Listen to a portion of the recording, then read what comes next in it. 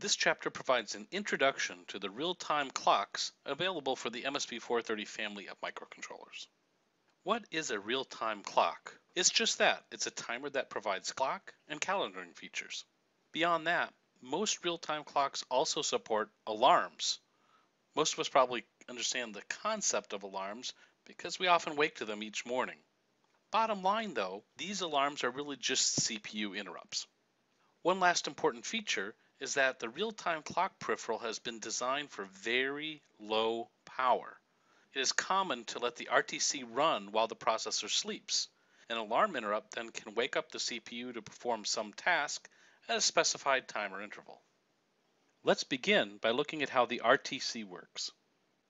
The RTC peripheral is usually driven from a 32 kHz clock. In the case of the RTC A variation, you can choose either A clock or SM clock. The A variation is found on the F5529 and provides this choice so that you can drive it from the external crystal or the internal reference oscillator. On the other hand, RTC-B, which happens to be found on the FR5969, is driven directly from an external low-frequency crystal. This CPU doesn't have an internal 32 kHz reference oscillator, so an input source option isn't required. But one of the advantages of being driven directly from a crystal means that this RTC can work in LPM 3.5 mode. As shown here, the clock input is divided down by two prescale counters. These take the clock input down to a one second resolution. From there, the registers in the RTC can keep track of minutes, hours, days of the week, day, month, and even the year. You can use these values to create timestamps, set time, calendar displays, for example, uh, like on a watch, and so on. Okay, but what about alarms? That is, what interrupts can the RTC generate? There are six types of RTC interrupts.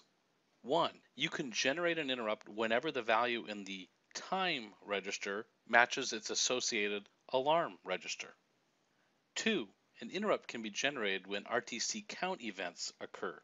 This can happen at each minute, at each hour, or whenever the time reaches midnight or noon. The RTC also has the flexibility to generate additional time-based interrupts from the prescale counters.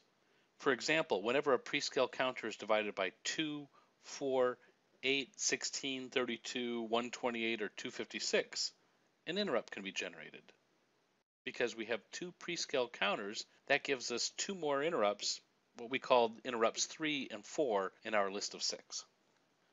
As we'll note in a later slide, you need to exercise caution so that you don't read the RTC registers while they're being updated. To make this easier for you, the fifth type of RTC interrupt indicates when the RTC registers are ready to be read or written to. Finally, the sixth type of interrupt is for an oscillator fault. On devices that allow the RTC to run in LPM 3.5 mode, the CPU would not be able to directly detect that an oscillator fault occurred. Therefore, this RTC interrupt can wake the CPU if something's gone wrong with the external clock. Now that we have all of the interrupts shown on the slide, notice that each of the six interrupt types have their own associated interrupt flag bit, or IFG bit. As you might suspect, they work similar to the other IFG bits that we discussed back in the interrupts chapter. In this chapter, we briefly examine two different ways to program the RTC.